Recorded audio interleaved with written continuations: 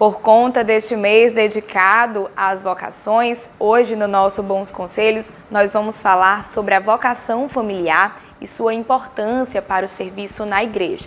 Para isso, nós vamos conversar com a Lucilene e o José Ronaldo, eles que são coordenadores arquidiocesanos do setor pré-matrimônio. Sejam bem-vindos ao programa Em Tuas Mãos.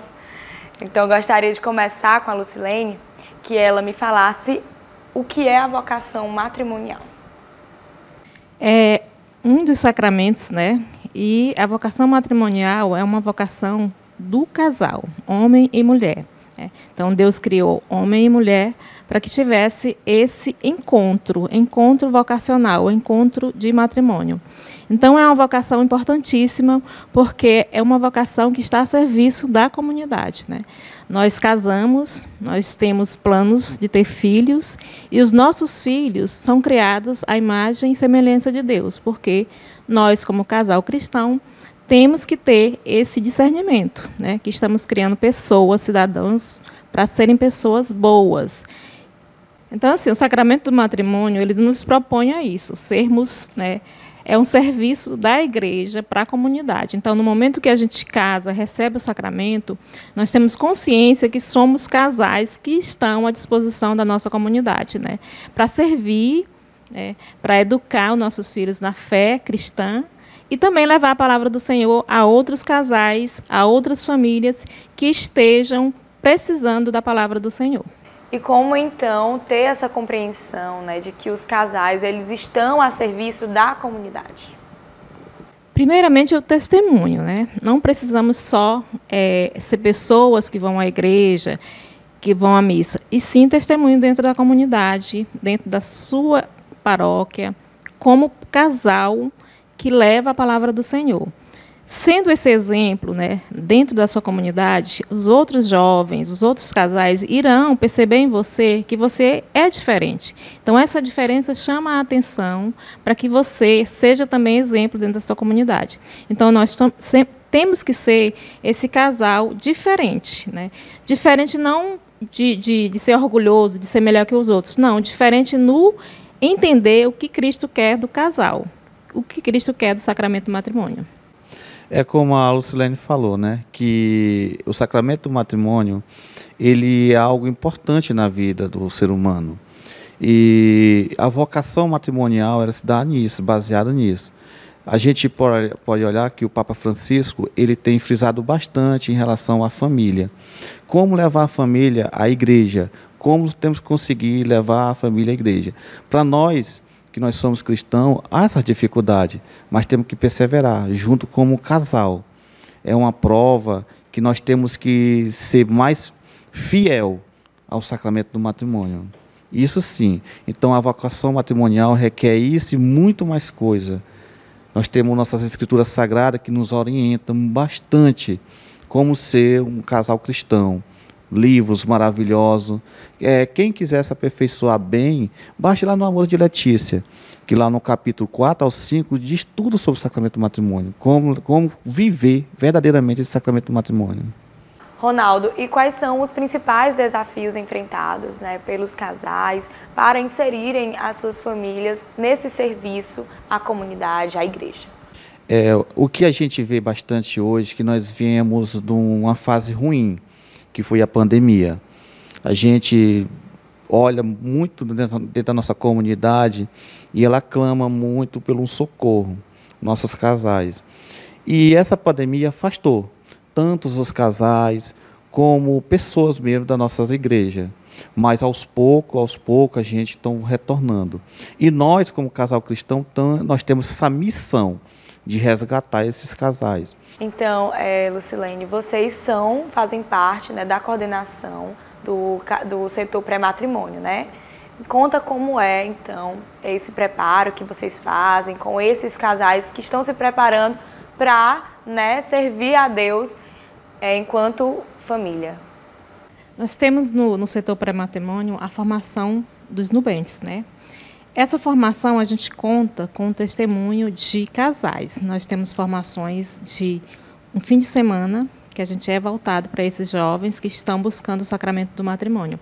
Dentro desses, desse, dessa formação, a gente tem determinados temas que a gente coloca para esses jovens, para que eles entendam realmente o valor do sacramento do matrimônio, da forma como é colocado por esses casais que já têm essa vivência. Né? Então, essa é uma das funções do setor pré-matrimônio. Também nós acompanhamos as gestantes, desde o do, do pré-natal, quando elas estão ainda grávidas, acompanhamos as pessoas, os jovens, né, com encontros de namorados, para que eles realmente tenham essa consciência de que seja um namoro cristão, para que venha desenvolver depois, dentro do seu sacramento, o que é realmente o valor do sacramento do matrimônio. Então, são esses momentos que a gente tem para que os jovens entendam realmente qual é o valor do sacramento do matrimônio. Lucilene, e para quem está nos acompanhando agora, então, qual o conselho que você dá para que esses jovens né, que estão há muito tempo já num relacionamento, eles busquem né, realizar esse sacramento? Porque a gente vê dentro dos nossos jovens que eles estão buscando muito namoro, um namoro descartável, né? um namoro que não tem valor, buscando muito as mídias sociais, aquelas pessoas que estão no auge, aquelas pessoas que são bonitas esteticamente e depois se decepcionam, porque o que realmente vale é o ser, né? é o que é que você é como pessoa, personalidade, caráter, e isso é que importa. Então a gente orienta os nossos jovens para que eles percebam realmente naquela pessoa se esse jovem é realmente sua alma gêmea, se se complementam. Né?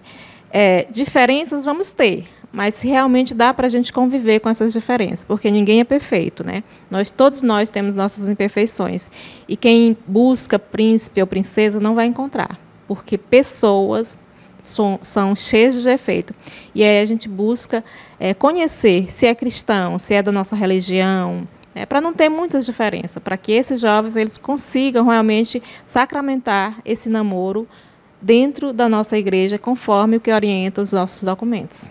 E uma das propostas que nós temos hoje dentro do setor pré-matrimônio, né, para resguardar mais, é, valorizar mais o sacramento do matrimônio, porque as formações desses jovens são feitas em um final de semana.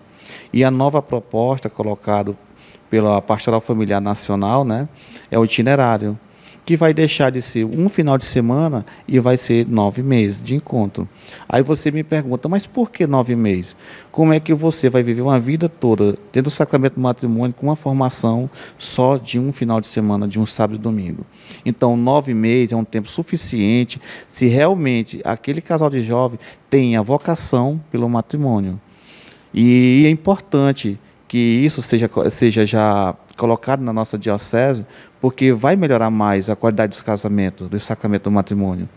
E é isso que a gente vê. Então, nosso recado hoje vai para o nosso jovem, que realmente o sacramento do matrimônio é algo bastante importante na nossa vida. Deus casou-se com a igreja e nós casamos com Deus. Então, nossa principal noiva hoje é a nossa igreja. Temos que conservá-la e conservá-la assim no amor de Deus. Deus não quer nada mais da gente, é só amar um ou outro. O Dom Jacinto, quando ele fala no cajado, sempre nas missas dele, que ele coloca o cajado como pastoreio, a Lucilene, minha esposa, sempre ela diz que aquele cajado, quando a gente consegue o sacramento do matrimônio, ele vem para nossas mãos, porque ela Deus nos confiou aquela, aquele sacramento a gente. Então, o sacramento para nós é uma vocação importante.